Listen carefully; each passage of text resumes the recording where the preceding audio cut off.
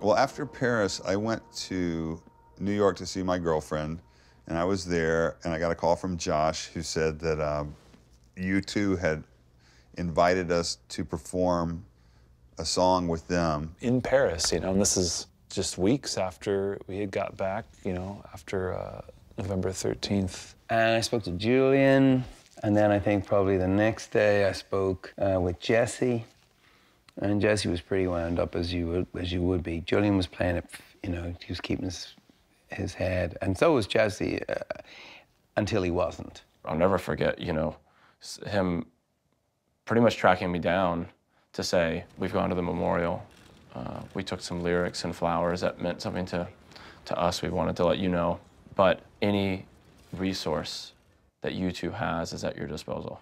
It was important because it's the defiant thing to do. It's like to go, we are not having our fans and our concerts destroyed by this movement. Because the attack is on a way of life. It's not even it's not any one thing. I mean, they picked a restaurant that night. People eat. French love to eat. They picked soccer game. You know, um, Stade de France. They pick the music. These are all the things we love, and they don't. And U2 gave us an opportunity and a chance to come back and to come back quickly. Um, because the more time that passed just being at home, that stigma starts starts growing, and then not not only just against Paris, but also just about just being on stage. We have an airplane and all this, so maybe they could use our airplane.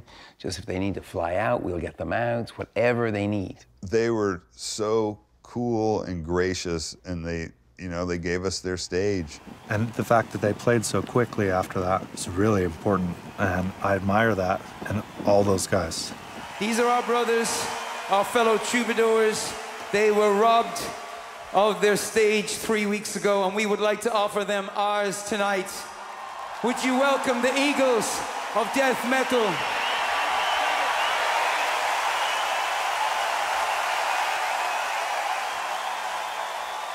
Definitely, it was weird because it wasn't that long afterwards, and it was a big thing for the people there, too.